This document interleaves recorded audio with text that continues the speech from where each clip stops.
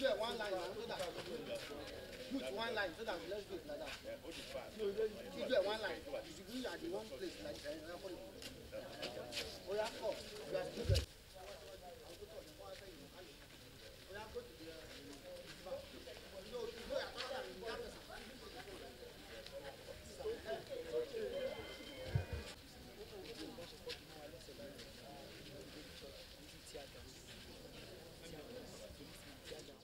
We are at the church, we we're having service when suddenly some people came. I think maybe the policemen. So I, I can't really figure out because I was not focusing on that area, but I knew some of there was one person that jumped in without he just jumped in sha and um, things sha changed and they started breaking doors and everything so they were just harassing people anyhow and during service there was even one that came in the micro- microphone stand we were using to sing took it and was just knocking it on someone because he wanted to collect the person's phone so the thing sha went all over security operatives came and they said they wanted to gain entrance. They open the gate? Why? i don't know about that So since when have you been attending that church? i was born there and i was educated there too your parents left there. Why? to them they know best to them why they left there but as for me because this christianity is a personal journey is a personal revelation and god will account us individually so they have their own reasons for leaving, but i did not see it Did they tell you to leave? they asked me to leave Why didn't you leave? because I, as i said earlier that i do not have a one reason to hold on to that this is what this is the reason why i won't be attending there because the words i've been hearing there i know the impact they are making in my life i know how they are changing me so it's look confusing to just because my dad said he's not going there i have to go. I deferred it when this issue of don't go to church and everything started and it landed in the court. So it was making me emotionally unstable.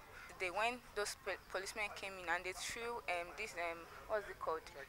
Yes. So it was affecting those children. So they had to run inside the um bunker. So that was where the policemen also brought them out.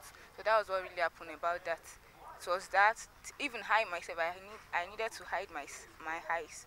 So it was this tear gas they threw and the way they were throwing things. So that was what made the children to run inside the. So it was not that they kept them. They never kept them somewhere that is not convenient or no. Why did you decide to the church? I left the church because of unscriptural and ungodly uh, ways by which the pastor and the assistant pastor are coordinating the church. We are following doctrines that are not established in the Bible, and they are teaching the children not to obey their parents. They are making the, the husband, they are making the husband to hate the wife. They are making the wives to disconnect and divorce their husband serving the wife, the husband with a divorce letter and all sort of things. And the pastors could not be corrected.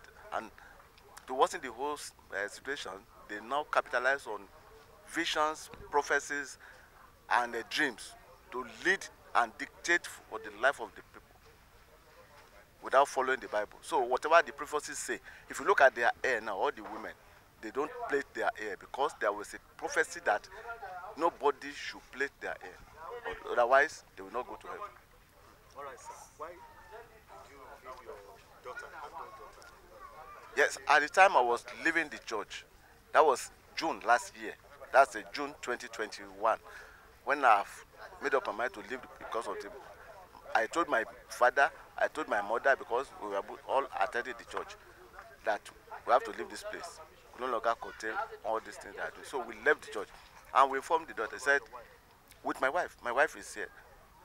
We, all left the church, but my daughter said she have to remain in the church until she is personally convinced. My lapses are that I, I, I tried to leave my daughter when I was leaving the place. I made that mistake. I should have taken her out, but I left her not knowing that she was already hooked to somebody in that church, that they were planning to uh, marry, they were doing their boyfriend and girlfriend I didn't know. It was later I got to know and I reported to the police and the boy was arrested. He's even here. I never indoctrinated any child sir, to disobey his parents. We were having seven days meeting on God instruction that we should lock the gate and be with him for seven days. And we are a, I- and the church as a the church, the Whole Bible Believers Church, including many members that have left, they knew that the church is a church that always listen to God's instruction and are already, always ready to do God's bidding. So when God instructed us that we should camp with him for seven days, we, we obeyed. And all the people that came, they were all instructed that this is the program God has for us. So, so if you are coming, make sure you put everything in order at home before you're coming. So that your people, your parents, anybody will know what you are doing here. That is it. So when we were in the meeting for that seven days, police officers came and some of the church officers went to meet with them they came on friday. That was yesterday. They went to meet them that we are in program and the program is going to end by sunday. That is tomorrow. That they should please on monday we will honour any invitation they want us to come and honour period. But the police never never never lis ten they went ahead broke the gate remove fence broke the fence and forced themselves in. When they force themselves in they they shot five bullets in the in the in the church uh, shot tear gas in the church. In fact they shot tear gas even to the children that are in the church.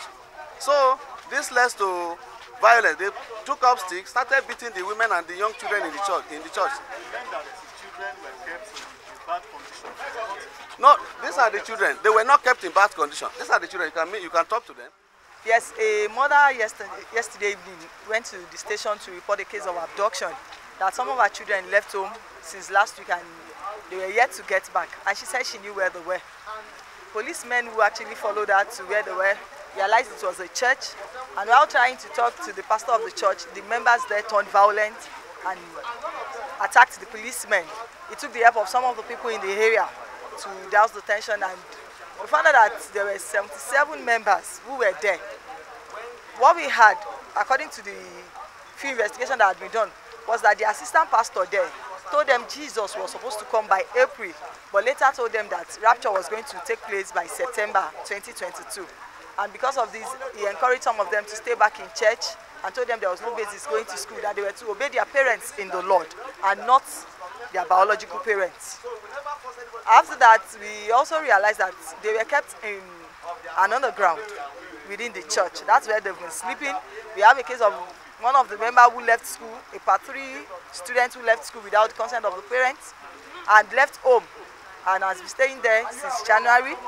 We also have those who feel since their parents do not believe in what they believe, then their parents are not in the Lord, so they cannot obey their parents.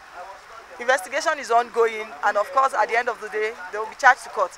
But we have 26 children, we have about 8 teenagers, and we have about 43 adults.